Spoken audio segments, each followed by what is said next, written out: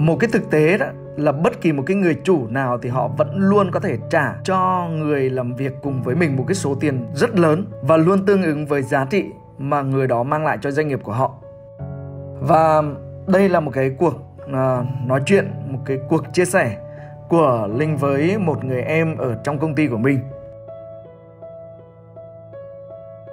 Và ngày hôm nay thì anh muốn chia sẻ với em ấy, cái vấn đề hiện tại của em thì em hãy chọn những cái điều tốt mà em làm ấy, thì anh vẫn luôn có thể trả lương cứng cho em. Đó là cái điều chắc chắn rồi. Nhưng cái mức lương đó nó chỉ có thể giúp cho em đủ sống ở cái đất Sài Gòn này thôi. Và tất nhiên thì anh sẽ cộng thêm cái doanh số cho em nữa. Nhưng em bảo là em không chịu được áp lực về doanh số thì em phải tự hỏi bản thân mình ấy là những cái người bán hàng rong ở ngoài đường ấy hay là ở các khu phố ấy thì cái áp lực của họ đó là gì? Áp lực của họ ấy, đó là con cái của họ gia đình của họ. Và họ phải kiếm được tiền thì đó có phải là cái áp lực doanh số của họ và những người bán hàng rong ấy, vấn đề của họ bây giờ không chỉ là cái chịu áp lực về doanh số nữa mà là cuộc đời bắt họ phải như vậy. Vậy thì ngày hôm nay em có hai cái sự lựa chọn. Một ấy, là em phải tự chịu áp lực do tự mình đưa ra. Hai là em phải chịu được được cái áp lực do chính cuộc đời của em đưa ra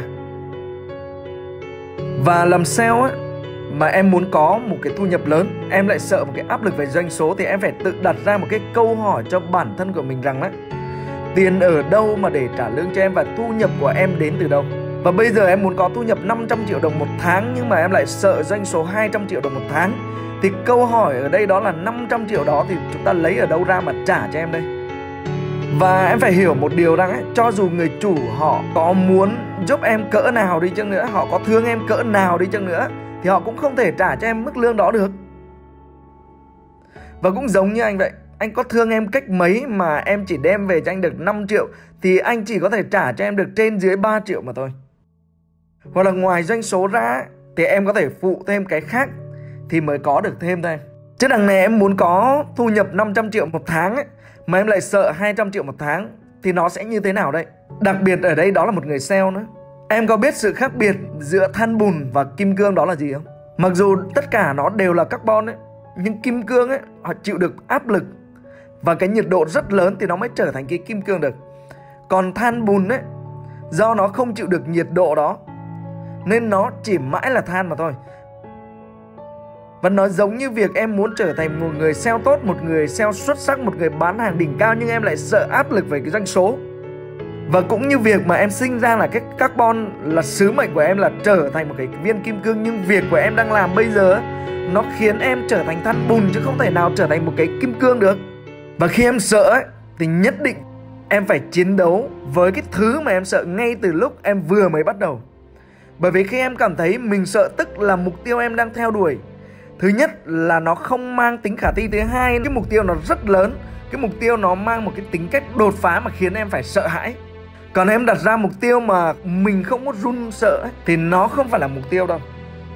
Và em phải xác định ấy, đây là một cuộc chiến của em với chính con người em mà thôi. Và bây giờ thay vì em phải tập trung suy nghĩ về áp lực doanh số Thì em cần phải suy nghĩ là làm sao để vượt qua cái nỗi sợ áp lực đó để mà có một cái thu nhập nó cao hơn. Và anh muốn chia sẻ với em như thế này này. Thay vì em tập trung vào vấn đề thì em hãy ngồi để tìm ra cái giải pháp cho mình đi. Em ngồi em sell đi, em ngồi em nghĩ ra mình làm phải làm sao để tạo ra nhiều giá trị hơn nữa cho khách hàng của mình. Và thay vào đó em hãy dành cái thời gian của mình này để nghiên cứu để mà tìm hiểu nhu cầu của khách hàng mà khách hàng của em đang tìm kiếm đấy. Có như vậy đó thì khách hàng họ sẽ cảm thấy hài lòng vì họ luôn được đồng cảm này.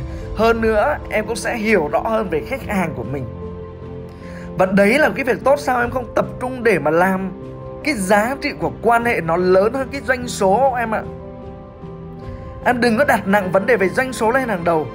Việc tìm kiếm các mối quan hệ và khai thác lượng khách hàng tiềm năng đó mới chính là chiến lược tăng doanh số lâu dài của em. Em phải nâng bản thân mình lên mỗi ngày này. Em hãy luôn tin tưởng vào bản thân và luôn là chính mình. Và hãy chuẩn bị tinh thần để có một cái thu nhập đó là 500 triệu đồng mỗi tháng. Thành công bao nhiêu ấy, thì áp lực nhiều bấy nhiêu. Người thành công chịu khó gấp 3 4 lần em. Nếu mọi thứ đều dễ dàng thì đâu đến lượt mình và cứ 100 người thì thực tế chỉ có 10% trong số họ là những người thành công mà thôi. Và điều quan trọng đó là em có muốn mình nằm trong 10% đấy hay không. Và quyết định đó, ngày hôm nay nó phụ thuộc vào em. muốn thành công thì hãy thay đổi cái việc áp lực doanh số, hãy xem cái áp lực doanh số đó là một cái thách thức mà cần phải qua và khi em vượt qua những cái thách thức đó thì tất nhiên thành công nó sẽ đến với em rồi. Và chúc em có được cái sự thành công mà em mong muốn.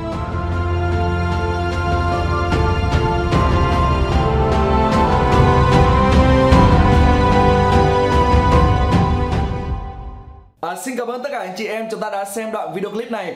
Và để chúng ta là người đầu tiên nhận những cái video kế tiếp thì chúng ta hãy bấm vào subscribe của kênh của Linh chúng ta hãy bấm vào subscribe ở dưới đoạn video clip và chúng ta hãy nhớ bấm vào nút chuông nhớ nhá bấm vào nút chuông bấm vào nút chuông bởi vì khi chúng ta là bấm vào nút chuông thì mỗi lần mà Linh upload video lên thì chúng ta là người đầu tiên chúng ta nhận được cái video này và chúng ta hãy ủng hộ kênh bằng cách bấm vào subscribe và bấm vào nút chuông một lần nữa tôi muốn nhắc lại đó chúng ta bấm vào nút chuông bấm vào nút chuông bấm vào nút chuông bấm vào nút chuông để chúng ta là người đầu tiên nhận được video những cái kiến thức chia sẻ về phát triển về bản thân kiến thức về kinh doanh làm thế nào để chúng ta thành công và làm thế nào để chúng ta hạn chế những cái thất bại trong cuộc sống này.